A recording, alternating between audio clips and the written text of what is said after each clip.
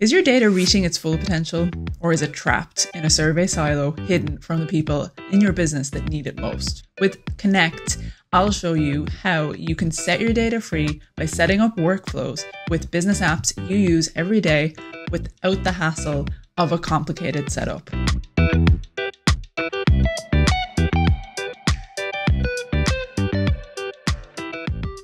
Connect is a natural part of the survey design and form creation process.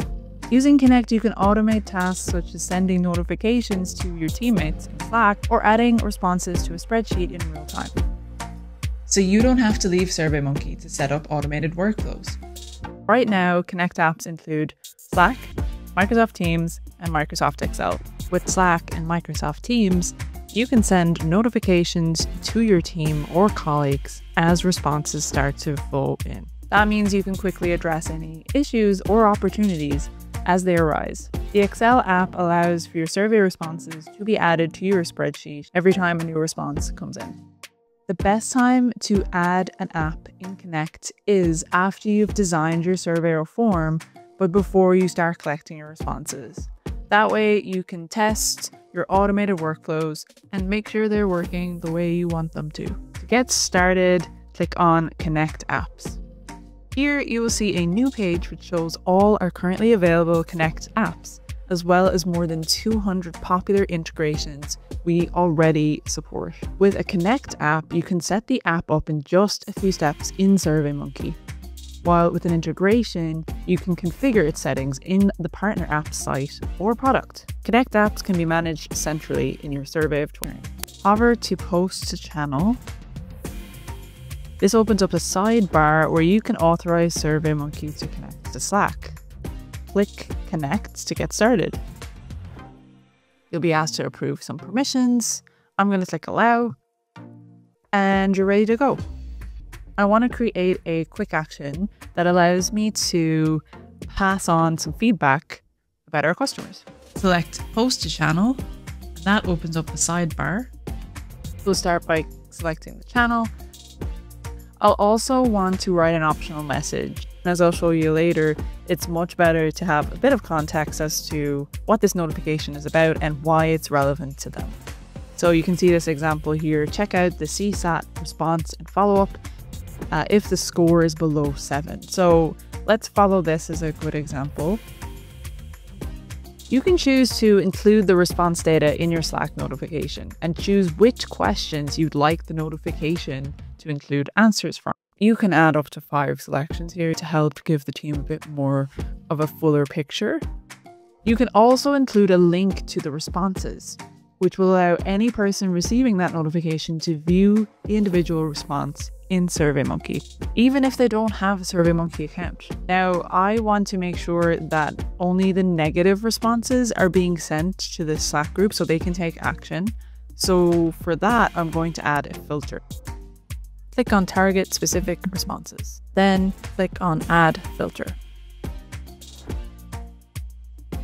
Filters define which responses should trigger a notification. There are a number of reasons why you would want to set up a filter. For example, there might be some time sensitive information shared in your customer feedback survey. For example, low customer levels of satisfaction might want to be flagged to the customer support team as soon as possible so that they can immediately resolve it or reach out to the customer. Another reason might be that you want to filter certain positive responses or suggestions about a product to the product team so that they can review this feedback and maybe make changes to their product. The product team would be really interested in that feedback, so you could set a filter that only passes along that feedback to that team. Another reason might be that you want only senior leadership to receive certain response data. Let's have a look and see which questions would be the most appropriate for the customer support team to respond to. I'm going to go with question seven, as I think this will be the most relevant for this notification. There will be the default options or values here, and they will be positive. You can filter it by a number of different methods here. In this instance, I'm going to remove the positives and make sure that it is one of not so responsive or not at all responsive. I'm going to add that. I'm going to apply. So this is our post to channel, all good to go. Give it one last look and then I will hit activate. Great, so now this has been set up, it brings you to the manage page. This page allows you to manage any of the quick actions and apps that you have set up and connected. You can see another quick action I've set up here to the customer marketing team. The last activity was one day ago. You can edit the action at any time. Brings you back to this particular page where you can edit if maybe it's not working the way that you want. If at any time you want to disable your quick action, simply toggle this button here. You can manage any of the connections that you've set up, including deleting any connected app. What's important to note about quick actions and filters is that they operate on an and function, not an or function. So for this quick action here, we've added one filter and that filter needs to be fulfilled for this notification to fire. If I was to add in a new filter for this quick action, that would mean that both of those filters would have to be fulfilled in order for the quick action to work. So we can do that here. You can create as many quick actions as you need, and you can send them to different teams. This is why testing your quick actions is really important because then you can make sure that the notifications are firing the way you want them to. Now that we've set this up, let's test it and see what the notifications look like in Slack. So here we are at the customer support team Slack channel, and you can see here is an example of what a notification would look like. It will state the survey. It will also include the contextual message. We have the survey response data for these three questions. So you can see that question seven, how responsive have we been to your questions? Not so responsive. So this is why they're receiving the notification because they negatively responded to our filter question seven. And we can also see that they were not satisfied with the boutique and the purchase didn't meet their expectations. So this does give us a bit of information around why they're dissatisfied. If we want to dive in a bit deeper, they can click on this link and they'll be brought to the survey responses.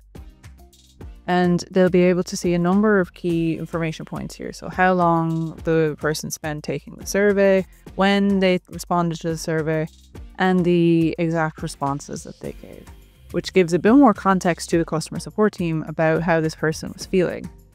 You can see overall this person was dissatisfied with their experience, and so they'll be able to follow up and get in touch with this customer to try and improve their experience and they are able to see this individual response data without having a SurveyMonkey account, and they can easily sign up by clicking here. And that's a wrap. With Connect, you've got all your automations in one place, so you and your team can truly get the most out of your survey data. Comment below and let us know how you plan on using this feature or if you have any questions. If you found this video useful, please like and subscribe. This lets us know what kind of content you're looking for and what we should cover next.